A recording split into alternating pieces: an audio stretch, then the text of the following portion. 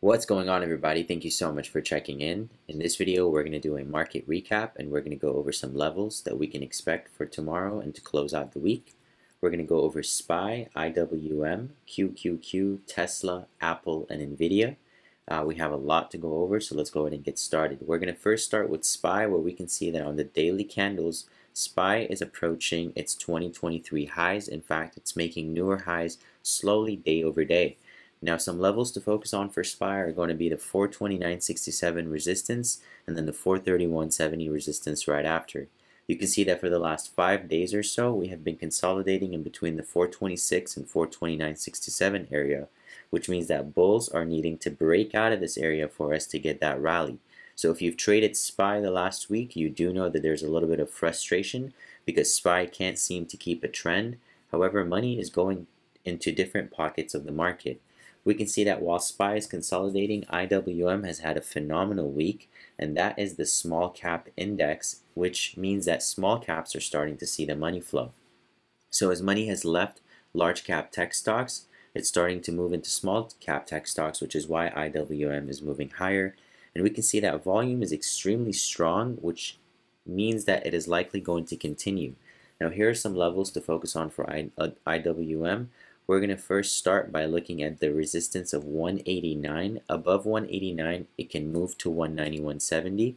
Now, usually we, we do use high of day to find the resistance, but in this case, our resistance point here is a dollar higher than usual, and that's because when looking at IWM on the daily candles, we can see that they got rejected right here at one at 189 back in March of 2023. So considering that rejection there at 189, we have to place our resistance at that point and we'll have to see IWM break above that point with strong volume for us to potentially take calls and ride them towards a price target of around 191.50 to 192. Now if it breaks lower and it moves below 185, it's not a really big deal because it could still be in a very strong bullish trend you can see that when it developed its bullish flag right here, the stock consolidated in a pretty healthy range and then moved higher. So move if it moves below 185, it could be kind of a warning sign, but it's not really going to get sold off unless it breaks below 183.50. At that point, it will be a very sharp decline towards 180 to 181. The next stock that we're watching, of course, is going to be QQQ. Of course, QQQ, like SPY, has had more of a consolidation and a pullback week as we saw most large cap tech stocks pull back. So for triple Q here, we're going to need to be looking at this following range. Let's go ahead and pull this up. Uh, first of all, QQQ is currently trading in a bullish trend. So, you know, it, I know it pulled back this week. However, overall, it's holding a strong trend and it will remain in that trend as long as it holds above 346.50. If it moves below that point, then it has a good chance of sharply falling towards 339 to 341. Now notice we've said sharply falling multiple times now and the reason why we know it's going to be a sharp fall is because when we look back at the actual move up you can see that it was a very sharp move higher and it's very easy to fill these full body candles down when a support breaks. So if this 346.50 support which triple Q double bottomed at here breaks, this will sharply get filled back down, these full body candles on the hourly chart. If you're looking for a bullish breakout, you're looking at 357.50. Above that point, Triple Q can go to 362 to 363. That's the next available resistance for it, and in fact, that would put it at a 52-week high. The next stock on our watch list, of course, is going to be Tesla. Now, Tesla has made phenomenal moves today, but it wasn't till after market till it really made its big move. So while everybody's expecting Tesla to come down, Tesla is actually pushing higher and we can call this a short squeeze. If you saw our Sunday video, we talked about NVIDIA and we talked about how the NVIDIA move higher scared people out of the market. So on this move, more than $2 billion were lost on the short seller side.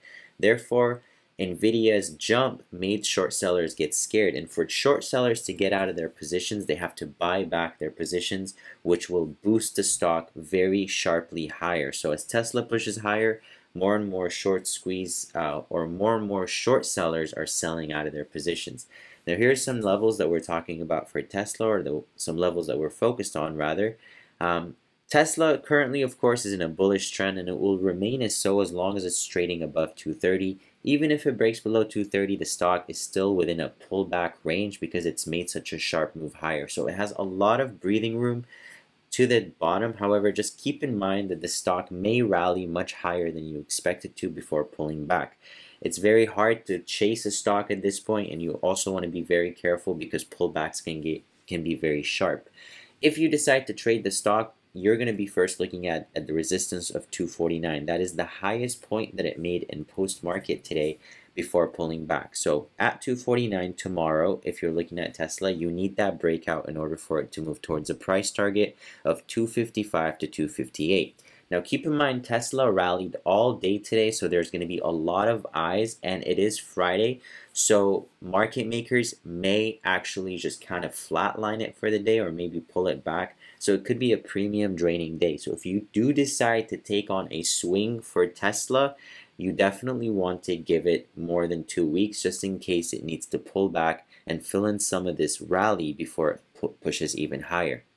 So if you're looking for a pullback entry, you kind of want to get in around 230 to 235. If you're looking for a breakout play, above 249 is your first breakout, and you can take the stock above that point, but just consider a smaller position because a breakout play is extremely risky at these highs.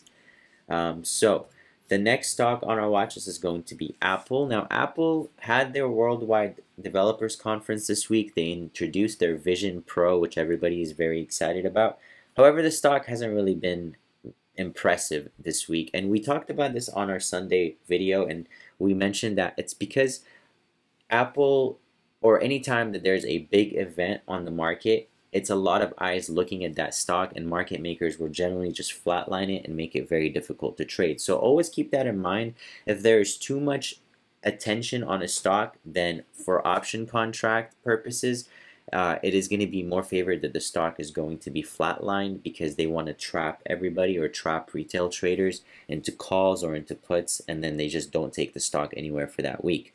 So Apple, as we expected, didn't make much of a move this week, but it did develop some good levels for us to watch going into tomorrow and potentially next week. First, we want Apple to break above the 181 resistance. Now, this is not a true breakout. This is just an intra range breakout so you can see it's within the range. This is the point that Apple got rejected at on Wednesday so above that point it can push back to its all-time high level of 185 but I would start taking profits in anywhere between 184 to 185 wouldn't really risk holding it past that level especially if it's just a day trade. Now on a swing trade Apple may very much break above 185 if markets continue rallying and it may continue rallying towards that 200 mark. Um, to the downside, if Apple breaks below 179, it starts to enter a little bit of a gray area because that has been its support all week. So if all these buyers decide that they want to let go and it breaks below 177.20, then Apple can fall towards 175 to 176. Last but not least, NVIDIA. Now, we did mention in a previous video that we expect NVIDIA to go to 1,000 eventually. Obviously, it's not going to happen overnight. NVIDIA just had a monster upside move. And as we already mentioned, if too many eyes are on the stock, it usually doesn't expect to do what everybody is expecting it to do, at least not for a while. So NVIDIA, while the rest of the market catches up to its massive upside move, NVIDIA is cooling down, it's consolidating, but notice all of its buyers are refusing to let go. Now, it did trap some bears yesterday on its 380 drop. Many people probably shorted or put, took puts on the stock, but you can see that it quickly recovered above that point today. So if you're looking at NVIDIA and you're looking at the short-term levels and you are bearish on the stock, you need a break below 373.60 in order for the stock to potentially move to 366. Below 366, it can get very ugly very quickly and it can quickly fall towards 350 to 355. If you are bullish on the stock, then you're going to need a breakout above 405, which is this rejection point here. This breakout will take you to 420, which is going to be the highest point that NVIDIA made all year, in fact, in its entire lifetime. And so if the stock breaks above that point, we call that a blue sky breakout, which means that the stock is going to rally with no real resistance. We would just have to base it off price action when we would take profits at that point. So anyways, you guys, I hope you guys enjoyed this video. Please don't forget to subscribe and like.